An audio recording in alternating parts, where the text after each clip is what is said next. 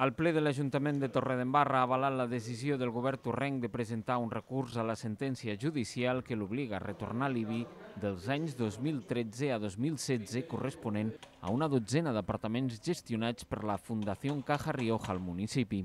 En total, 80.000 euros, als quals s'haurien de sumar les anualitats dels últims 5 anys que Caja Rioja ha seguit pagant, uns 100.000 euros més. La resolució que prové d'un litigi inicial l'any 2016 es fonamenta en el fet que les fundacions estan excloses de pagar aquest impost.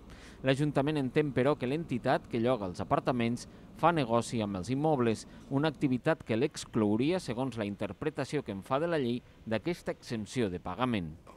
Fundació Caja Rioja, emparat amb que presenta uns balanços, balanços a Hisenda que dins de tot el seu mogollon de números hi posa els números de la, dels lloguers de Torre d'Embarra, cola tot amb un balanç per fer exempt d'IBI i d'altres impostos, perquè és l'objecte de la Fundació. Si Hisenda s'ho mira bé, i és el nostre objectiu, que arribin a demostrar que tot està junt i no separat, llavors tindran la raó, si tot està junt.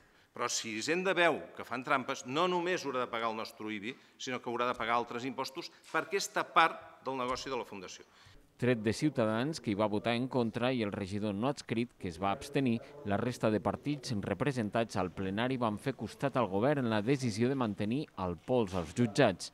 També el PSC, que formava part del govern quan es va iniciar el procés judicial. Nosaltres votarem a favor aquesta i les vegades que facin falta per defensar la dignitat de Torredembarra, perquè si algú no s'ha donat, això no només va de diners, sinó que hi ha també un percentatge molt elevat de dignitat. Si algú ens vol prendre per ximplets, si més no, posem-s'hi difícil. També en matèria fiscal, el ple de Torredembarra va aprovar de forma unànime la modificació de l'ordenança que regula les plusvàlues per adaptar-la a la nova normativa.